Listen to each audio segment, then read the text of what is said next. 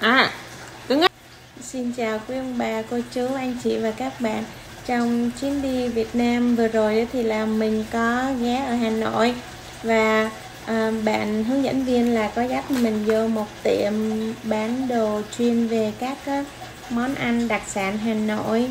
Thì là mình có ghé ở đây và mình có mua một số quà về một phần đó là mua về làm quà với một phần là để ăn thử xem là như thế nào. Thì là nói chung thì là những món này thì đa số là toàn món ngọt không à. Nên là mình sẽ pha trà trước. Đây là cái nước trà, cái trà đó mà mình uống thử ở chỗ cái tiệm đó. Thì mình thấy là nó rất là đặc biệt, tức là nó uống có một chung chút xíu thôi nhưng mà nó rất là đắng. Cái này họ nói là đặc sản trà Thái Nguyên thôi, quà đặc sản miền Bắc. Thì là mình uống thì mình thấy nó ngon nên là mình cũng mua thử. Mình cũng không có biết pha trà nữa, nên là phải đại nha. Một xíu nước nóng vô, xong rồi rửa trà. Rửa trà xong rồi là cho cái nước nó ra ngoài. Rồi, xong là cho nước nóng vô. Ok. Trong khi mà chờ trà của mình á, nó nó ra nước á, thì là mình sẽ thử một số món. Trong chuyến này thì là mình mua, đó là, cái này là bánh đậu xanh. Cái này đó là hương nguyên và họ có nói là cái này là đặc sản ở ngoài Hải Dương à, mình sẽ thử nha. Cái bọc thì nó sẽ như vậy. Bánh đậu xanh. Ở trong nó sẽ như thế này. Uhm. ăn rất là ngon. Nó béo béo nó bùi bùi. Và có vị dừa nữa. Ngon.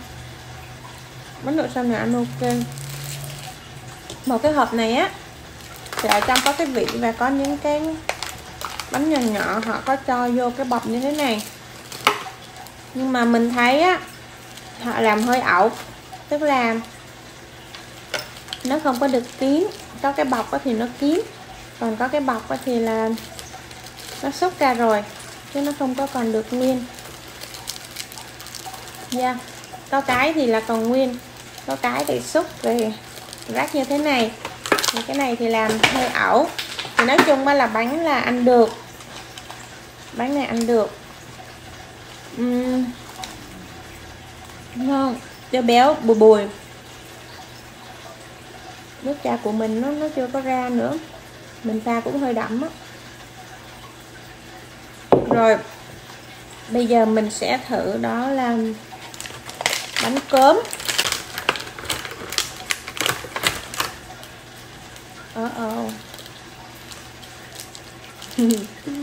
bánh cơm của mình nó, nó bị móc rồi.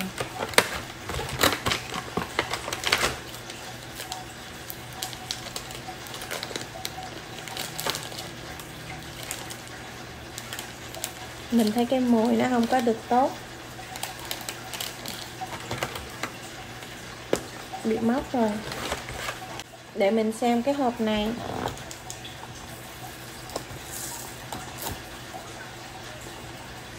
Đây, à, cái hộp này của mình nó cũng bị hư rồi. Nó móc rồi nè. À, mọi người à, cẩn thận khi mà mua bánh cốm nha. Tại vì mua bánh cốm thì nếu mà để lâu chắc là sẽ không có được. So guys đây để mọi người xem là nó có xíu màu đen rồi. Tại vì nó móc rồi nên mình không có muốn sờ tay vô nữa.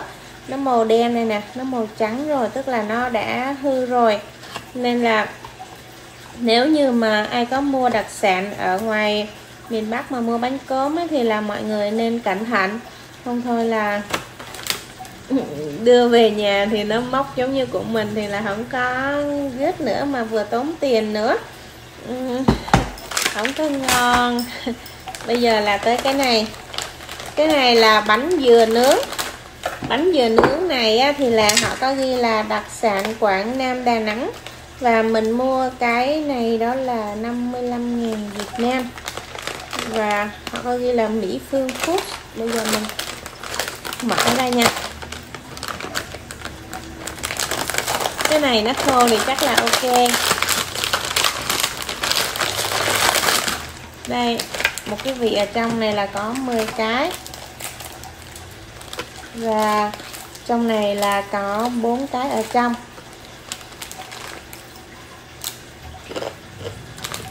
Ừ. nó giòn. Ngon á. Không có ngọt nhiều. Và rất là giòn. Cái này á, là sản xuất tại công ty Mỹ Phương Food, thành phố Đà Nẵng, Việt Nam. Nhưng mà đi mình mua, đi Hà Nội thì là có món này. Cái này ngon nè.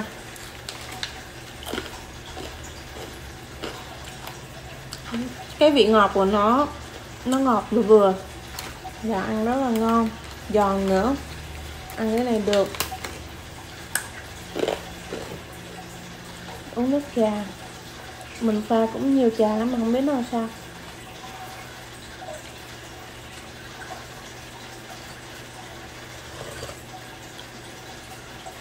Sao ngộ quá à.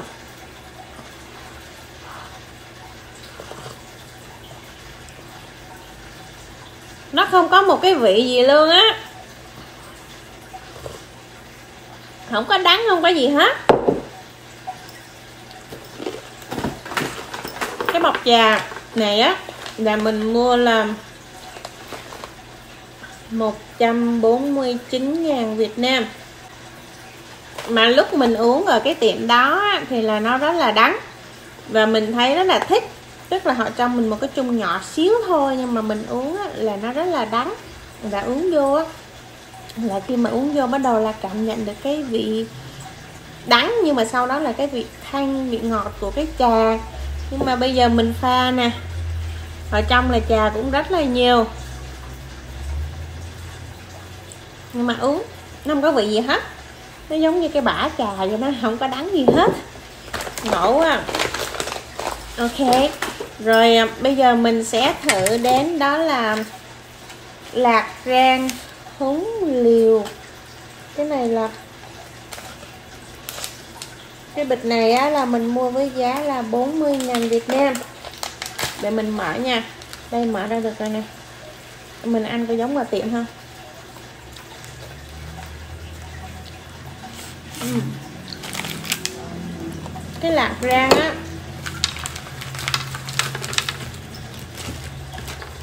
nó cũng không có ngon như là mình mua ở tiệm. Mình nhớ mình ăn ở tiệm là nó nó hơi giòn nó giòn rất là giòn. Và cái cái vị á cái vị á, là nó hơi ngọt ngọt và nó hơi um, mặn mặn. Nhưng mà trong cái bọc này thì nó khác nha. Cái bọc này á là nó đã lại đậu rồi. Cái đậu này á là nó hơi mềm rồi. Và là mình thấy á, là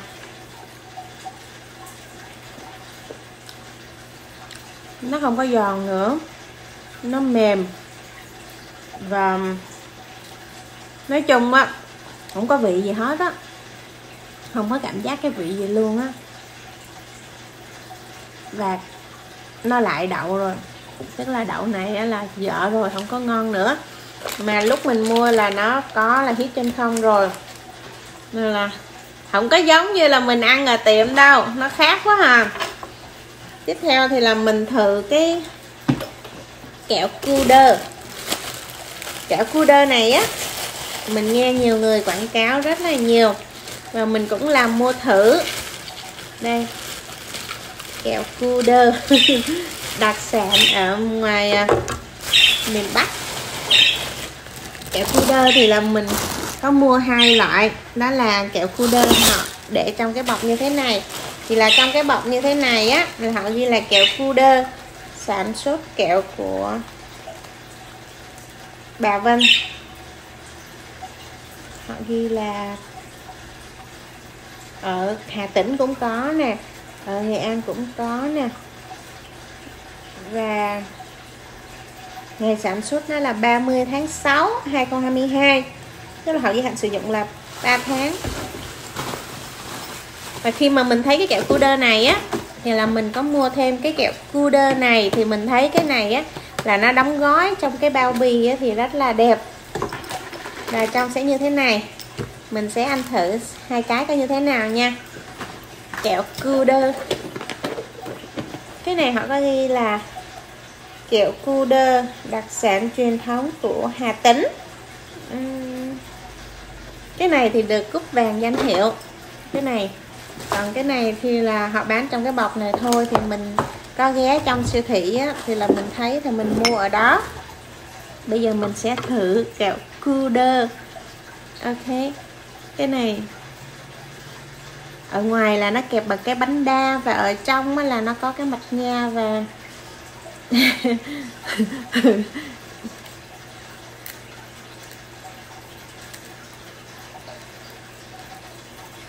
à cứng á.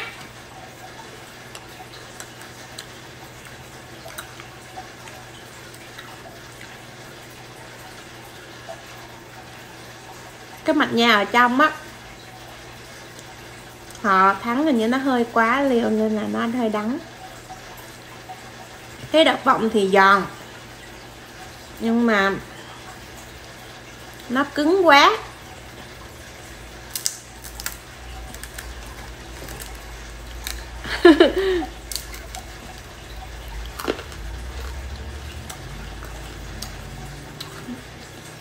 Nó giòn đậu phộng có giòn. Cái bánh tráng này có giòn. Nhưng mà nó cứng quá.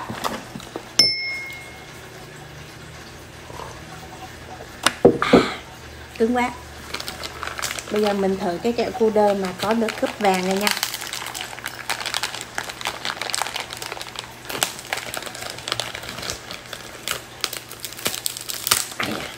Cái này mềm hơn nè. Cái bánh tráng này cũng thấy ok. Cái bánh tráng này á, nó trắng và nó nướng khác, hai cái loại bánh tráng này khác nhau. Cái này thì hơi đắng đắng.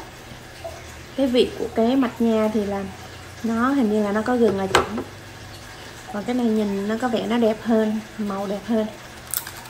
Ừ. cái này ngon hơn. Cu đơ này ngon hơn. Cu đơ ở trong cái hộp đóng gói kỹ càng thì là ngon hơn. Mình ăn á, mình cảm nhận được cái vị dẻo của cái mạch nha. Dẻo dai. Và cái đậu phộng thì nó giòn. Ừ, cái này ngon.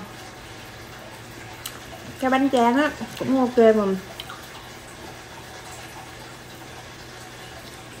Mình thấy là có cái vị ngọt. Cái này nhưng mà cái mạch nha của cái này á, thì là nó có gừng có vị gừng và hơi đắng đắng. Rồi mạch nha con này làm vừa tới ngọt. Nói chung là nếu mà ai á mà mua quà về thì là nên mua cái trong cái hộp thì ok. Còn đừng có mua trong cái bọc. Mình thấy mình ăn cái này không phải cu đơ nữa mà cái này là răng đơ. Rồi ăn cái này là có ngày hư răng á. Đặc biệt những người lớn tuổi mà răng không tốt thì không nên ăn này nha. Ăn này hư răng. Ok. Uhm, thế rồi. À mình có một cái này. Cái này đó là mình mua ở chỗ cái tiệm đá luôn. Về họ có ghi là chậm chéo. Mình thấy nó lạ, cái tên nó lạ nên là mình mua. Thì là ở trong này á, họ có ghi là làm gia vị chấm thịt, hoa quả và tẩm ướp món ăn. Uhm. mình thấy nó hay hay nên mình mua thôi chứ mình ở trong á, cái vị giống như là muối ớt gì á. Có ớt nè có lá rừng.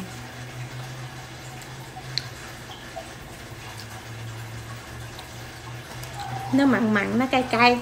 Cái này á, mà chấm với cốc ổi đồ là ngon lắm. Ừ. cái chậm chéo này ngon nè. Cái mùi nó thơm lắm và nó có cái vị lạ lạ. Cái này được này để chấm cốc ổi ăn. Sau khi ờ, mà thử các sản phẩm mà mình đã mua đặc sản ở ngoài miền Bắc á, thì làm mình thấy là đầu tiên á, là cái bánh cớm này. Cái bánh cớm á, nếu mọi người mua thì là mọi người nên để ý là mình mua về thì là mình nên ăn liền mình không để lâu. Tại vì là mình mua và mình đưa về thì là cũng khoảng là gần 3 tuần rồi nên là cái bánh nó bị mất rồi. Nên là mọi người cẩn thận là khi mua cái này về làm quà nó bị mốc thì mình sẽ uổng tiền mà sẽ không có ngon nữa. Tiếp theo là về cái đậu phộng. Cái đậu phộng thì là mình ăn ở trong tiệm thì là nó khác. Và khi mà ăn trong cái bọc này thì là mình thấy nó khác, nó không có giống trong tiệm. Và đặc biệt là cái đậu phộng này là nó đã bị lại rồi. Nên là quý vị là cẩn thận khi lựa chọn nha. Còn à, bánh thì mình mua đó thì là bánh đậu xanh này thì là mình thấy là ăn được ngon á mình cũng thích nữa. Nếu như mà mọi người muốn mua làm quà thì có thể mua bánh đậu xanh này cũng được. Còn về cái mà kẹo Cuda thì là Suka khuyên thì là nên mua trong hộp nha. Đừng mua trong cái bọc như thế này. Cái bọc như thế này thì là ăn cái này là răng đơ luôn. À, rồi còn bánh bánh dừa thì mình thấy ok rất là ngon. À, ngoài ra thì là cái món đặc biệt đó là cái trà này thì là mình rất là thất vọng. Đúng là rất là thất vọng khi mà mua cái trà này về. Lúc uống ở đó á, mình không biết họ pha như thế nào nhưng mà mình uống là mình thấy nó đậm đặc và nó rất là đắng. Nhưng mà ở đây mình pha cũng rất là nhiều trà. Bình thường á pha trà nếu mà pha như vậy á, là uống là rất là đắng. Còn đây là mình pha là cũng cả nửa ly rồi nè pha là cũng nửa ly rồi. Nhưng mà tới giờ uống. Không có cảm giác gì hết không có đắng luôn á. Tức là nó nó là um, mình không biết. Tức là nó không có giống như là khi mình uống ở đó. Và không biết là họ pha như thế nào cái cái trà này có gì không thì mình không biết nhưng mà là nó khác nha nên là mọi người cẩn thận khi mà mua các món quà đặc sản quê hương đưa về nhà. Thực ra đó là mình đi là mình đi theo tour thì là cái bạn mà hướng dẫn viên du lịch á, là bạn đó cũng hướng dẫn cho mình. Đó là cái chỗ này là bán là đảm bảo và chất lượng. Nhưng mà tuy nhiên thì cũng có một cái thì mình cũng không hài lòng. Thì là Suka review thiệt tình để mọi người là rút kinh nghiệm khi mà mua các đặc sản đi về nhà của mình. Suka cảm ơn quý ông bà, cô chú, anh chị và các bạn đã theo dõi video của Suka Suka hy vọng là sau video này thì là mọi người khi mà du lịch thì là cũng cân nhắc khi mà mua các đặc sản ở quê đó là về để mà làm quà hay là về gia đình thưởng thức hay là biếu cho người thân gia đình. Ừ, đây là những gì mà Suka cảm nhận và Suka review thật và là những ý kiến riêng của Suka nếu như mà ai có ý kiến gì thì là có thể đóng góp ở comment hoặc là góp ý cho Suka để Suka rút kinh nghiệm. Ừ, Suka cảm ơn quý ông bà, cô chú, anh chị và các bạn đã theo dõi video của Suka Suka chúc mọi người luôn vui khỏe và thành công. Và mời mọi người ủng hộ Suka bằng cách bấm nút like, share và đăng ký kênh để Suka có động lực làm những video mới tiếp theo nha. Bye bye.